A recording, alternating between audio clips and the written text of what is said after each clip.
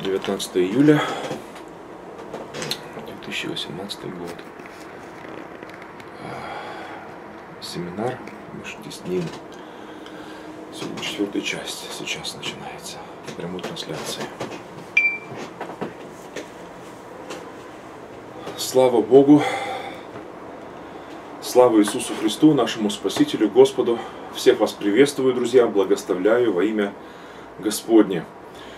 А, сегодня а, трансляция, сегодня а, продолжение семинара, который провожу в эти дни. Вчера проводил и сегодня. И трансляция там, этот семинар, я назвал трансляцию эту и семинар назвал «Межтеснин». Так в традиции еврейской называются, называют эти, эти дни – до 9 ава, три недели подряд, они а, наполнены такими воспоминаниями и часто воспоминаниями такими а, ну, о трагедиях, вот, о многих бедах, произошедших в истории Божьего народа. В Библии об этом рассказывается, и, в общем-то, библейские вот эти вот истории вспоминаемые, и, и не только библейские, но и то, что было после того, после уже э, библейской, э, библейское время. Межтеснин.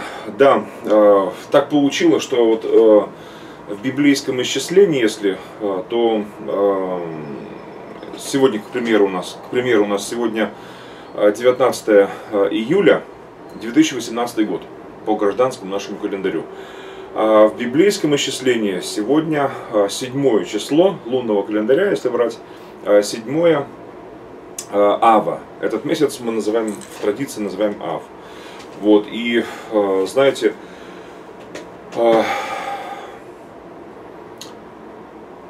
у нас есть утешение. Даже в традиции, народной еврейской традиции, этот месяц мы называем утешением. Хотя большие беды вспоминаем. Ой, столько, столько всего произошло. Я э, вчера, допустим, в этих вот как раз э, эфирах я вспоминал, допустим, э, некоторые беды, которые произошли в истории Божьего народа в библейские времена. Моисей, да, он взял скрижали от Всевышнего Бога, он взял скрижали, он принес их к народу. И именно вот в это время он их разбивает. Ну, 17 Тамуза.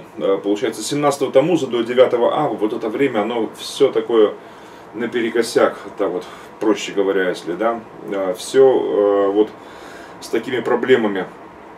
Золотой телец, э, люди поклонялись э, вот, тельцу. Тоже история такая неоднозначная разные есть воззрения, что же там происходило. Но одним словом, что сделано, то сделано. Моисей разбивает скрижали. Тоже есть разные мнения э, богословов, древних, современных, что же там произошло. Моисей специально разрушил э, скрижали, разбил сгоряча уже, значит, расстроившись. Или они просто выпали из его рук. Знаете ли, как вот говорят, из рук все сыпется уже. Он как увидел все это, и у него из рук это упало. Такое есть мнение там ну, по тексту, как бы, и вообще а, по представлению разных конфессий, будем так говорить, вот, и еврейских, и христианских. Вот, но как бы то ни было, а, но вот а, эти три недели по традиции древней еврейской мы вспоминаем много вот таких проблем. Ну, конечно, самое горькое, что мы вспоминаем в эти дни, в эти три недели, это разрушение храмов. Да, убиты были храмы, разрушены были храмы.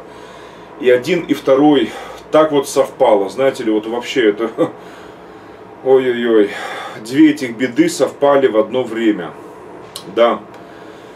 И вот 9 ава мы обычно вспоминаем, конечно, э, и разрушение первого храма, и разрушение второго храма. Вот, но для нас, новозаветных верующих, евреев и неевреев, э, вот для нас, христиан, Э, мессианских евреев, э, великим утешением является то, что э, мы живем в эпоху третьего храма, созидающийся третий храм. Он является уже стройкой тысячелетий на протяжении двух тысячелетий. И он созидается из живых камней на основании апостолов, пророков, имея краеугольным камнем самого Господа Иисуса Христа. Из живых камней созидается. И знаете, э, друзья, э, значит, э, я хочу прочесть сейчас из Слова Божьего, из послания апостола Павла. В эти дни Павла я много перечитывал, и вот хочу прочесть из первого, из первого его письма в Коринф, первое послание Коринфянам, 10 раздел его, до 10 глава, ну, с самого начала, с первого стиха. Прочитаю прямо с первого стиха. И знаете, друзья, действительно, ой-ой-ой, Господи помилуй, а, всем нам а, нужно помнить, а, откуда мы вышли, помнить о многих проблемах прошлого, чтобы простираться вперед, забывая заднее, простираться вперед. Но забывая заднее, некоторые представляют, знаете, вот вообще просто, ну, Э, ну как бы э, некоторые верующие, будучи оторванными от э, корня, от традиции толкования Писаний, на свой обум и разум обычно так понимают, что ну вообще полностью, как, как будто бы верующему память отшибает вообще, вот, и он ничегошеньки не помнит вообще. Вот, знаете, вот просто стерло из памяти у него, и он все, что было, как говорится, было, было, было, было, и прошло. Ого-го, помните там старая песня советская еще, в советское время? Вот, и так многие думают, что э, верующие, к сожалению, э, из, э, уверовавшие из язычников, то есть из неевреев, да и евреи наши, чего греха таить.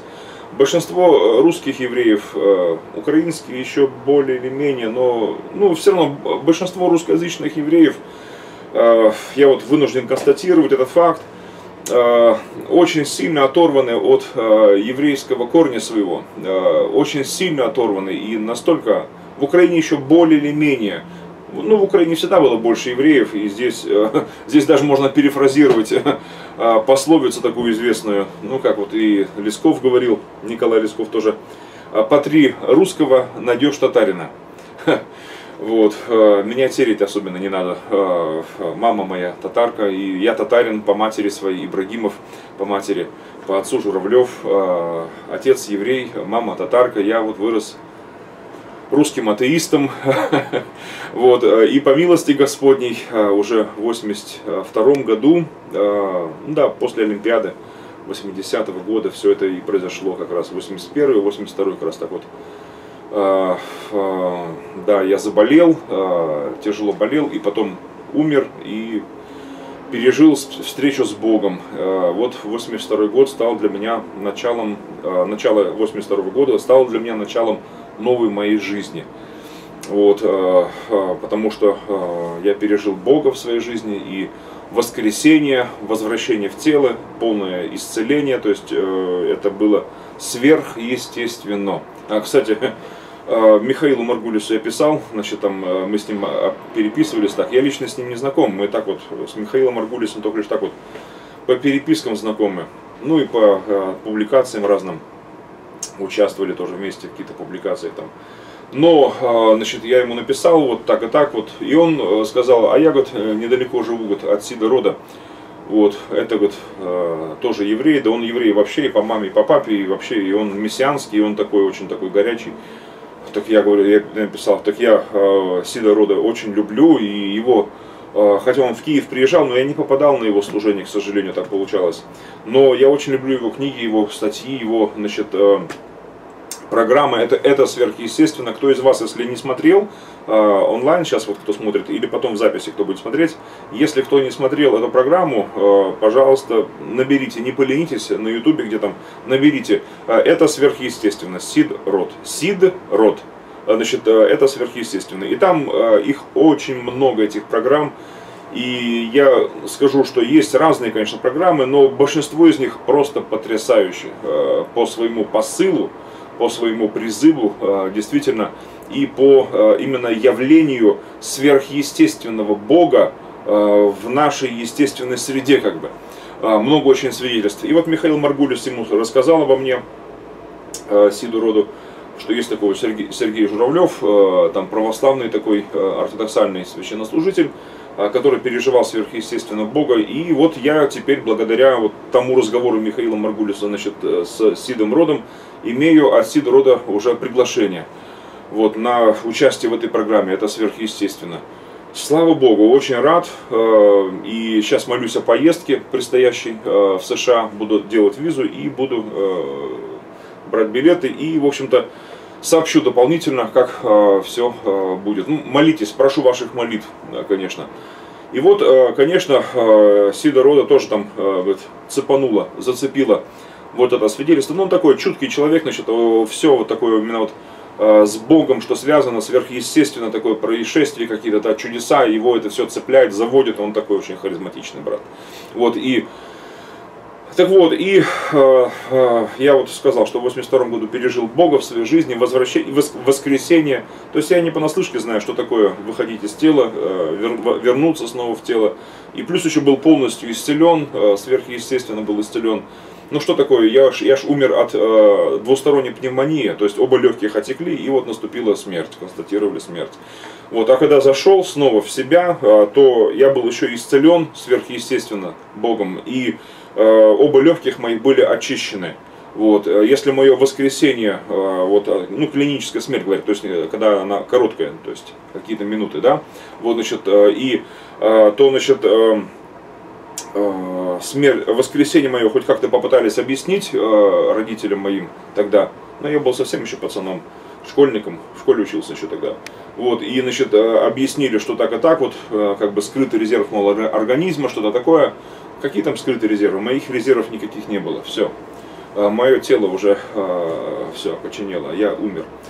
Вот. И знаете, друзья, но э, очищение обоих легких они никак не могли объяснить врачи. Э, просто-напросто молчали, потому что, э, ну, как родители спрашивали, но Потом проверяли, делали вот эти как флюорографии, ну, что там, там как, как положено делать, значит, там э, проверяли. Да, следы остались, значит, э, повреждения легких. То есть, ну, не повреждения, как вот, ну, следы, что было вот, заболевание, но оба легких чисты. Я вот до сих пор, мне сейчас уже почти 50, вот это мой 50-й год моей жизни, э, вот сейчас идет и юбилейный год моей жизни. Я очень Богу благодарен за юбилейный год, за этот год преобразования, преображения моей жизни. Вот, а, тогда мне было 12 лет а, с половиной, ну 13 почти лет, значит, и потому что я майский, я ну, в мае родился, значит, и, значит, и, ну да, э, э, неполных 13 лет, будем так говорить, да, значит, и, и знаете, э, но э, вот с того момента э, вот эта сверхъестественная жизнь для меня это, это естественная жизнь, это естественная жизнь.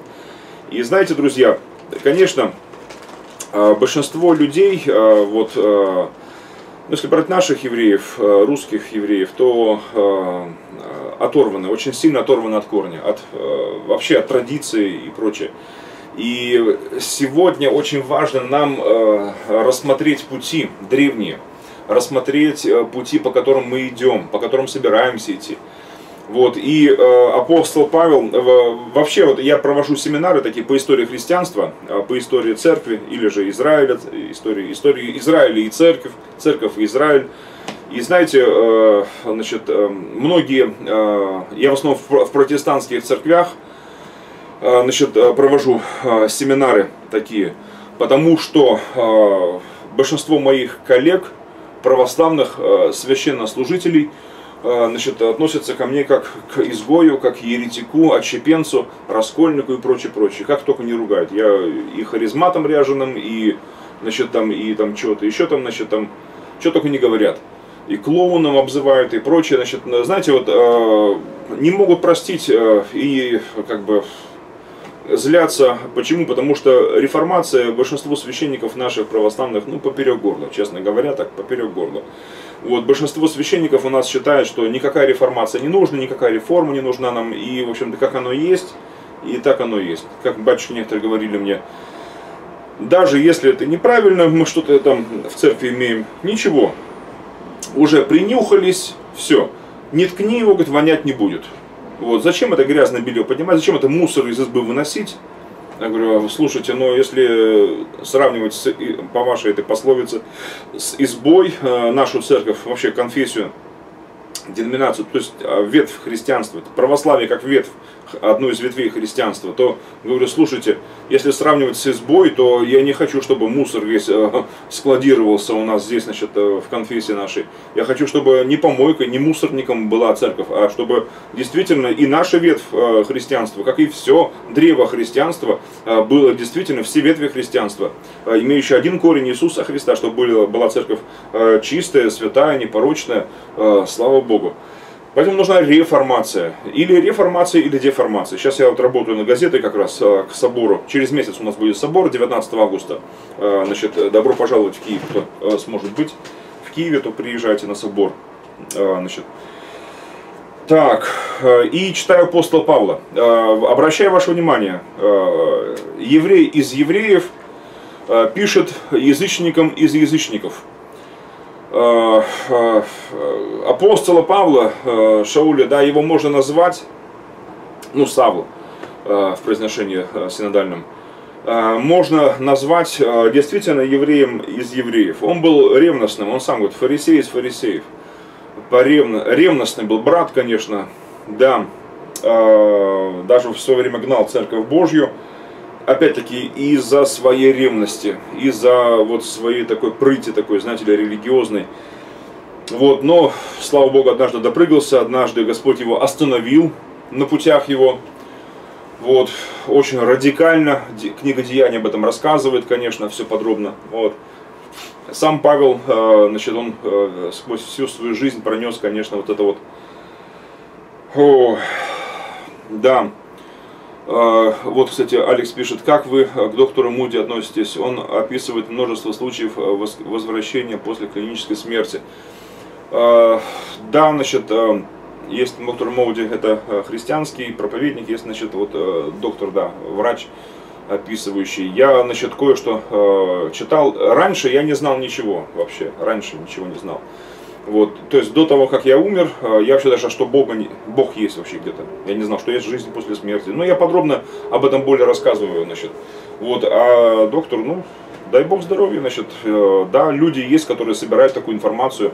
По крайней мере, для людей, наверное, для многих это будет повод задуматься, почему иногда все-таки стоит об этом рассказывать. -то. Вот.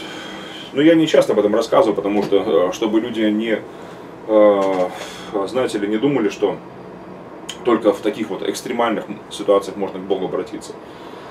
Большинство людей обращаются к Богу э, без такого экстрима, э, не выходя из тела, не умирая, значит, э, и, и слава Богу. Потому что, знаете ли, то, что смерть, ну, умирать плохо, умирать болезненно и, ну, никому не пожелаю, честно говоря, подобного. Вот, это так просто описать, выйти, зайти, вот, а пережить этот стресс, это не, не так просто на самом-то деле, очень непросто. Потом с этим жить еще. Э, знаете, э, тем более тогда еще вообще пацаном был. Э, если бы постарше, наверное, может по-другому реагировал как-то. Или хотя бы кто-то в окружении, хотя бы кто-то был верующий, хотя бы хоть как-то религиозный, тогда может как-то было легче мне во все это потом перенести. А то с этой информацией потом жить. Ой-ой-ой. Врагу не пожелаю, честно говоря. Я потом там столько ревел. Ой. Ну ладно. И, значит, и 1 э, Коринфянам 10 глава, э, с 1 стиха. Еврей из евреев э, пишет, да, блаженно не видевшая вера пишет, но блаженно не видевшая, но уверовавшая, да, это правда, сестра дорогая, или это правда, значит, потому что я, я даже себя когда-то было время, даже ловил на том, что, ну, по-хорошему, белой завистью завидовал, я будем так говорить, если можно так выразиться. А, значит, завидовал тем, кто, вот здесь в Киеве, допустим, мы, когда в 97 году приехали, очень много здесь верующих, в разных церквях был я. И я даже по-хорошему завидовал многим. Я смотрел, что большинство верующих, таких горячих верующих, они не видели Бога, они не видели ничего, они не, уход... они не выходили из тела, они... и они так верили, что я думаю, вот это да. Я не могу себе так сказать. Я, значит, э, э, я видел, я знаю Бога, да, значит, и э, э, думаю, надо же, вот этот механизм веры, мне так это восхищало у людей, когда я наблюдал, да, так со стороны, думаю, надо же, вот как здорово. Некоторые верующие, наоборот, завидуют тем, кто э, видел Бога, видел, э, ну, был э, в другом измерении, будем, в более реальном, как бы, мире, более реальном измерении, чем эта реальность земная. Вот. Но, значит, честно говоря, я не знаю, как другие там братья, сестры, ведь я не уникум, есть еще, я теперь уже знаю точно, есть уже такие люди, которые тоже переживали подобное, вот Имуди вот описывает, да. Вот, но, значит, Э, за других не буду расписываться, но за себя скажу, что я вот было время даже вот по-хорошему завидовал тем людям. Надо же, думаю, они ничего не видели, они не видели Бога, но они так верят в Него, думаю, вот это да, я по-хорошему им завидовал. Но теперь не завидую. А, Бог от этого тоже освободил. И от этой белой зависти тоже освободил. Знаете почему? Потому что у каждого свой путь у каждого свой путь. Вот к 50 годам, видимо, поумнел чуть, значит, и, значит, э, помудрел, и, и значит, и э, э, освободился от этой зависти. Э, не хотела бы, да, на самом деле. У каждого свой путь. Каждый должен хотеть идти своим путем. Э, и, э, знаете, у каждого свой опыт, свой жизненный путь, своя харизма, своя душа, неповторимая, а, вот эта частичка вселенской, вот этой души Бога, Божья искорка вот эта вот своя. Вот, и Бог любит каждого из нас, даже можно сказать, сказать так, как будто бы никого больше в мире нет вообще, и ничего больше в мире нет. Вот так Он любит, потому что в Нем мы, а Он в нас. Спасибо тебе, Господь, спасибо. Вот, и, значит, апостол Павел, еврей из евреев, писал язычникам из язычников – Почему я так говорю? Потому что коринфяне, даже в Древнем Риме было такое выражение «коринфствовать». То есть валять дурака, э, значит, э, и пьянствовать, дебоширить, ну, как вы знаете, как вот в Англии фамилия хулиган, да, вот была такая, э, набила оскомину. Даже потом стали людей всех непутевых там называть хулиганами или потом хулиганами. К нам, когда пришло это слово, то стали называть хулиганами. Это, это английская фамилия, хули, хулиган. Э, но так получилось, что на всю Англию прославилась эта семья, семейка, ну как вот, знаете, такое выражение, семейка придурков. Вот, вот такая была семейка, оторви да выбрось. Что деды, что прадеды, что отцы, что дети, что внуки, что правнуки – ни одного порядочного. Все пьяница, мор... пьянство, мордобой, э, значит, кутеж, галдеж, значит, там, значит, там, и ничего хорошего. Настолько, что на, на всю страну прославилась эта семья, представляете, хулиганы. Вот, и поэтому вот, э, вот подобное поведение в Англии стали э, осуждать и окрестили, называть э, значит, э, хулиганами. Ну, как, допустим, вот в Украине сейчас вот э, тех, кого нанимают за деньги, там, кого-то бить, значит, там, значит, э, вот, значит, э, ну, когда нельзя э, легально кого-то там избить, значит, там, или, там, или какое-то хулиганство сделать, то он нанимает за деньги обычно каких-то спортивных ребят, значит, и те там что-то хулиганят, да, вот, их сейчас тетушки называют, потому что была фамилия такая вот одного такого товарища, которого поймали, и который, ну, раскололся, рассказал, что он за деньги бесчинства, безобразие всяких делал, вот, и поэтому по его, его фамилия ну, может быть, и хорошая фамилия, но видите, теперь она, эта фамилия уже, э, ну, вошла в историю, ну, ой, в страшную историю. И поэтому, вот, поэтому вот смотрите, какая фамилия, какая фамилия, как входит в историю еще. Вот, и э, слава Богу, что мы теперь Христовы. И вот э, коринфяне э, были действительно злыми язычниками, не хочу оставить вас, братья, в неведении. А, знаете, вот а, мне а, многие не евреи писали и звонили, вот тоже общался я, вот, и, и писали, звонили, знаете, о чем? Некоторым непонятно, зачем, допустим, не еврею знать, вот, интересоваться еврейской историей, традицией, даже вот Ветхий Завет читать некоторым христианам, как бы, ну, такое понимание, что как бы вроде как бы ни к чему уже. Ну, почитал раз-два, как бы, и все, как бы. Вот, а, но а, на самом деле все гораздо сложнее. А, не хочу оставить вас, братья, в неведении. Да, они, значит, там, знали Христа, они были спасенными, эти люди. Это церковь в Коринфе, она была одарована Духом Святым, да, значит, но, он дальше пишет, что отцы наши все были под облаком. Интересно, наши отцы, а, Конечно, если бы, допустим, коринфяне были бы в такой позиции, а, нам, оно нам надо, а, то они, допустим, сказали бы, члены церкви этого портового города, сказали бы, Павел, при всем уважении, это твои отцы, это не наши отцы. Оно нам надо. Зачем нам это все? Э, не морочь нам голову. Давай нам э, новозаветное учение, а все то нам не нужно. Но, но, но, но, но, все было гораздо сложнее. Э, отцы наши, отцы наши. Я э, скажу, что любой человек, любой культуры, цвета кожи, национальности, э, религии, традиции, э, если он уверовал в Иисуса Христа как своего личного Спасителя Господа, если для него Библия стала Божьим Словом, Библией, откровением свыше, то читая историю Авраама, Исаака, Израиля, э, патриархов, пророков. Э, такой человек читает э, об исходе, допустим, да, значит, великом, который совершился 3330 лет тому назад, великий выход из рабства, то он читает не о чужом народе, не о чужих людях, не о чужих для него событиях, а о своих. Потому что он верующий, независимо от того, даже если он из э, самого маленького народа, где-то на краю земли, он привит к великому древу, о, к великой маслине. Спасибо тебе, Господь. Отцы наши, поэтому давайте скажем вместе, отцы наши, мои отцы, это мои отцы. Все были под облаком, и все прошли сквозь море, все крестились в Моисея, в облаке и в море, и все ели одну и ту же духовную пищу, и все пили одно и то же духовное питье, ибо пили из духовного последующего камня. Камень же был Христос. Христос и Альфа и Омега, начало, конец, великий. Всю Библию читаю от бытия до откровения. Это все один Иисус Христос. Иешуа Хамашиах. Аллилуйя. Но далее, пишет он, пятый стих, внимание, это но он, но не о многих о, из них благоволил Бог, ибо они поражены были в пустыне. Да, мы читаем и ужасаемся той истории, а дальше написано. Ну, казалось бы, значит, зачем нам это, да? Это их беда, кровь их на них, а мы при чем здесь вообще? Моя хата с краю, ничего не знаю. Моя деноминация с краю, ничего не знаю. Но-но-но. Опасно ложиться на краю, да? Опасно быть там. А это были образы для нас, чтобы мы не были похотливы на злое, как они были похотливы.